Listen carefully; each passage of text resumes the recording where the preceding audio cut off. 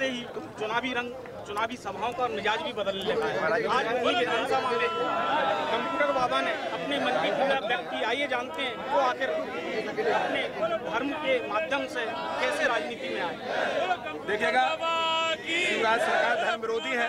सैकड़ों संत आने का कारण यह है कि अपने दुखड़ा तो रोने आए हैं। शिवराज सरकार नर्मदा को लूट के खा रहे और नर्मदा यदि शिवराज सरकार रही, बीजेपी सरकार रही तो नर्मदा नहीं रहेगी। नर्मदा को बचाना है, गौ माता को बचाना है तो शिवराज सरकार का, को हटाना पड़ेगा और कांग्रेस को आना पड़ेगा, कांग्रेस को लाना पड़ेगा। संत समाज निवेदन करते हैं नूतनी विधानसभा में कि हाथ के पंजे पर मोहर लगाकर कांग्रेस को विजयी बनाए। माफ़ करे शिवराज तो कैसे माफ़ करे